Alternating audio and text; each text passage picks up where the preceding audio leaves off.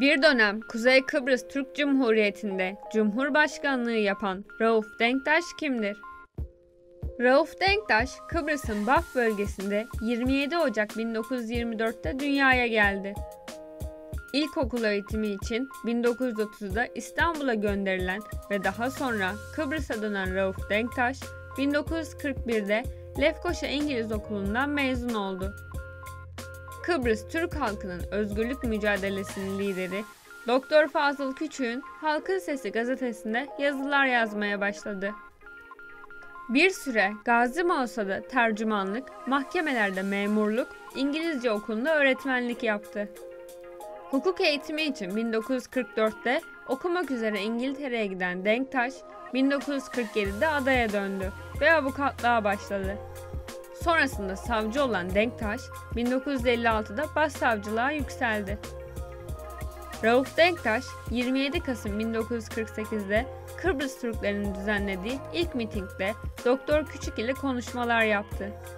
Türk toplumunun iki önemli ismi Faiz Kaymak ve Fazıl Küçük arasında arabulucu rolünü üstlenen Denktaş, toplumun menfaatlerinin takipçisi oldu. Aydın Denktaş'la 1949 yılında evlendi. Rauf Denktaş 1 Ağustos 1958'de Türk Mukavemet Teşkilatı'nı kurarak Rumların Türk köylerine saldırılarını protesto etti. Zürih-Londra anlaşmaları öncesinde Fazıl Küçük ve Rauf Denktaş Ankara Dışişleri Bakanı Fatih Rüştü Zorlu ile görüşmeye gitti. Görüşmede Denktaş adaya Türk askeri gönderilmesinin teklifini dile getirdi. Denktaş 1959 Zürih ve Londra anlaşmaları ile 1960 anlaşmaları ve Kıbrıs Cumhuriyeti Anayasası'nın hazırlanmasına çaba harcadı. Aynı yıl Türk Cemaat Meclisi ile İcra Komitesi Başkanlığına seçildi. 1963 olaylarından sonra Denktaş temaslarda bulunmak üzere Ankara'ya gitti. Temaslarını tamamlayan Denktaş sandalla Kıbrıs'a geçti ve Türk direnişini örgütlemeye başladı. 1964 Londra Konferansı'ndan sonra Makarios tarafından istenmeyen adam ilan edilen Denktaş, 1967'de adaya gizlice girerken tutuklandı. Yoğun girişimler sonucu Türkiye'ye geri verilen Denktaş, 1968'de adaya giriş yasağı kaldırılınca Kıbrıs'a döndü. Kıbrıs meselesinin çözümü için 1968'de ilk kez Beyrut'ta müzakerelere başlayan Denktaş, eski Rum liderler ile yıllarca müzakere etti. 1970 seçimlerinde Türk Cemaat Meclisi Başkanlığına getirilen Rauf Denktaş'ın yoğun siyasi hayatı böylece başlamış oldu. 1973 yılına kadar Kıbrıs Cumhurbaşkanı muavini ve Kıbrıs Türk Yönetim Başkanı olarak görev yaptı.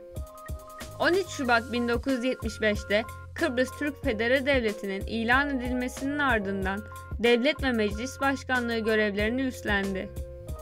Denktaş, anayasanın gerekleri doğrultusunda 1976 seçimlerinde devlet başkanlığına getirildi. 1981 seçimlerinde ikinci kez iktidar oldu. 15 Kasım 1983'te Kuzey Kıbrıs Türk Cumhuriyeti'nin ilan edilmesinin ardından kurucu Cumhurbaşkanlığı görevine getirilen Denktaş, 1990, 1995 ve 2000'de yapılan seçimlerde de Cumhurbaşkanı seçildi. 2004'te dönemin Birleşmiş Milletler Genel Sekreteri Kofi Annan'ın Kıbrıs sorununun çözümü için hazırladığı Annan planına karşı çıktı. 17 Nisan 2005'te yapılan Cumhurbaşkanı seçimlerinde aday olmayan Denktaş, 24 Nisan'da görevi Mehmet Ali Talat'a devretti. Siyasi hayatının yanı sıra yazar kimliğiyle de öne çıkan Rauf Denktaş, 1985'ten sonra son zamanlarına kadar birçok kitap ve makale yazdı. Fotoğrafçılığı da çok severek yapan Denktaş, Kıbrıs'ı anlatan çok sayıda fotoğraf sergisi açtı. Denktaş, organ yetmezliği teşhisiyle tedavi gördüğü hastanede 13 Ocak 2012'de 88 yaşında vefat etti. Vefatının ardından Türkiye ve Kuzey Kıbrıs Türk Cumhuriyeti'nde ulusal yas ilan edilerek 17 Ocak 2012'de yapılan devlet töreninin ardından Lefkoşa'daki Cumhuriyet Parkı'na defnedildi. Denktaş'ın vefatı nedeniyle her yıl 13 Ocak'ta Kuzey Kıbrıs Türk Cumhuriyeti ve Türkiye'de anma törenleri düzenleniyor.